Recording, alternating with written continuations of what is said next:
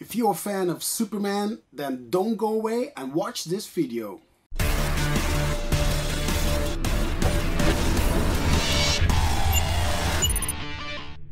Okay guys, welcome back. In today's video we are going to do a simple paint job of these 3D printed parts. Um, what we have here is a kind of a vintage Superman bust that I found on the internet. Uh, the guy who made this is called David Ostman. I will put down the link below. Go check his amazing work out. As a start, we are going to glue everything together, hide the seams, spray everything with this uh, spray putty. This is, um, it's not a primer, it's much thicker and it sands easy and, and quickly so you don't have to, you know, be busy for hours sanding everything away. This stuff is awesome. And at the very end, um, because this is of course the Man of Steel, I'm going to try to give it a metallic uh, weathered look. At least that's the idea. So let's get started.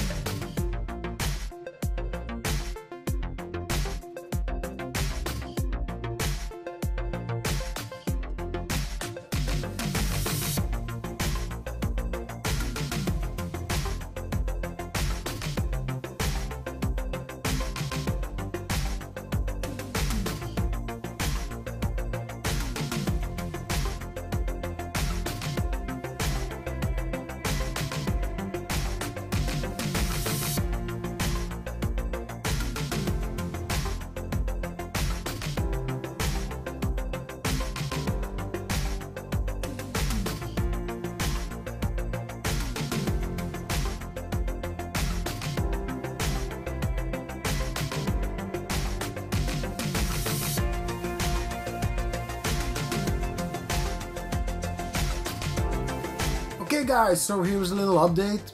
Um, after applying several coats of the uh, putty spray, I started with some, uh, you know, 150 grit sandpaper and I ended with, uh, I think it was 800.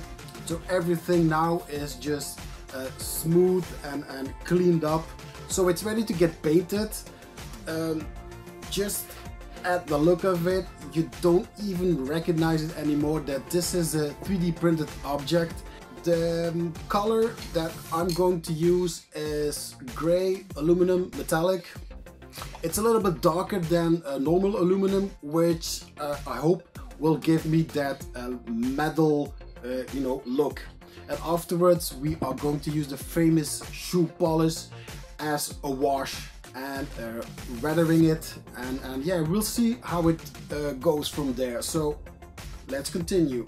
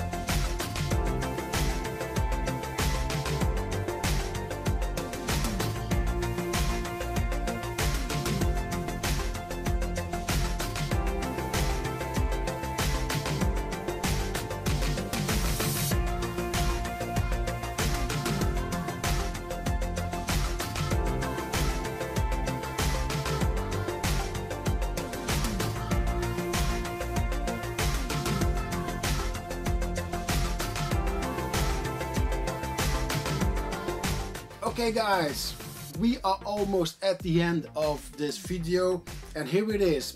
It's finished.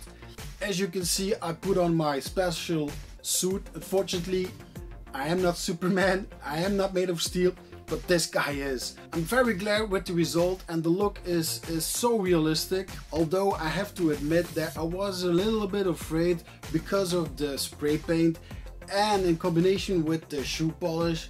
Um, yeah, both are products to give your products a shine, but it turned out just fine. I really enjoyed making this and painting it maybe for some of you an aimbot, but I enjoyed myself and that's just the main focus. And maybe I could inspire others to do the same. I hope you all enjoyed watching my video and if you have some comments, please put them down below and if you haven't subscribed to my channel, do it right now. As usual, I'm going to leave you with some epic cinematic footage of the end result and I will see you all, of course, in another video. Diorama Builders signing out.